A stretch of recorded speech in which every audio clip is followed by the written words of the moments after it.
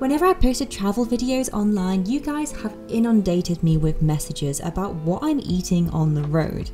It seems to draw a lot of attention, and so because I had a recent delivery of my stock that I do take on the road, I thought it'd be a really good time to just really open up the box and show you guys what it is I buy and how much it costs. So let's jump in.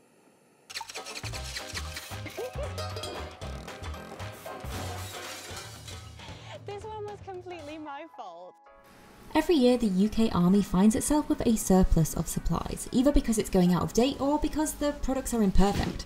This means that they auction these off to the highest bidder, which are often surplus supply stores where people like you and me can purchase them. Now, there are a lot of companies online that make boil in the bag food for adventuring, which I'd looked at in the past, but in my experience, they charged around 5 to 7 pounds a meal, which is just too expensive.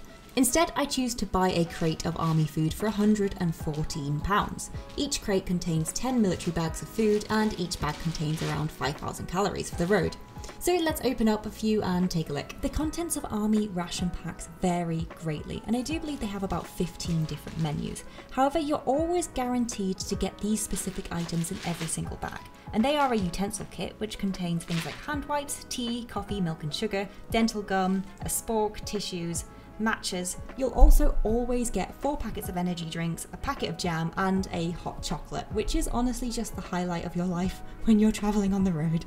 Onto the food, you will always get free square meals in every single army bag, plus a variety of snacks and even dessert, although I'll be honest, it's mostly questionable dessert.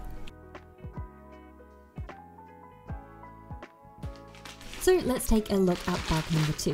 Of course, you get the usual utensil kit, energy drinks, hot chocolate, and so forth. But with the meals, I somehow managed to get four in this bag, plus the cake, nuts, biscuits, and even cheese spread.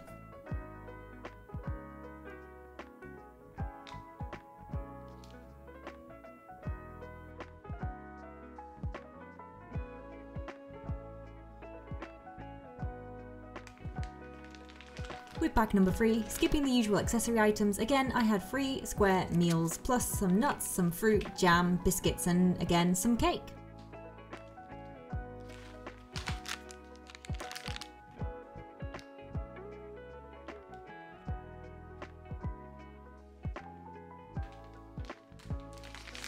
Bag number four, this time round I got a cold breakfast plus two hot meals as well as cake, oat biscuits, peanut butter, nuts and even some sweets.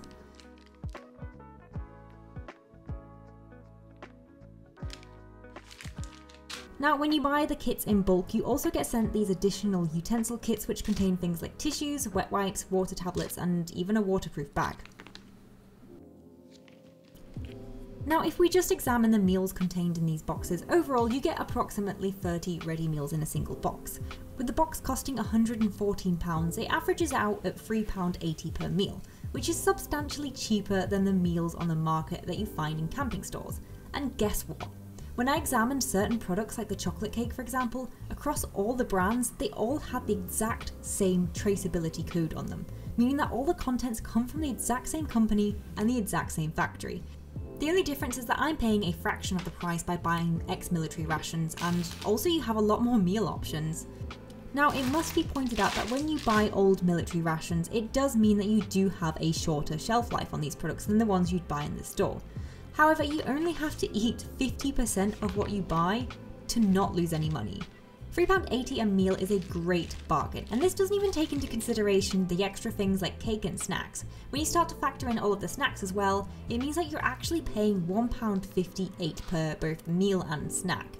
I'll be honest guys, the meals aren't the most visually appealing, but when you are in the middle of nowhere and you are very tired, they are an absolute blessing in disguise. I know that £114 is a lot of money to pay in one go, but it's the age old economic dilemma of pay more upfront and save a lot more on the road. Because ultimately, although it is a lot of money in one go, if you continue to use this stuff right up until its shelf life, the amount of money you'll save by not buying from places like petrol stations and fast food joints or, or even falling for local tourist traps means that you'll have a lot more cash in your pocket by the end of the year. I hope that a lot of you found this video really helpful and insightful into why I'm buying this and how much money I'm saving by doing it this way. I hope you guys also consider the idea of doing this for your next trip because I do feel like it's a really good way to save cash and also we are cutting down on our waste overall, which benefits everyone. So until next week, ride safe, stay crazy. My name's Saffy Sprocket, signing off.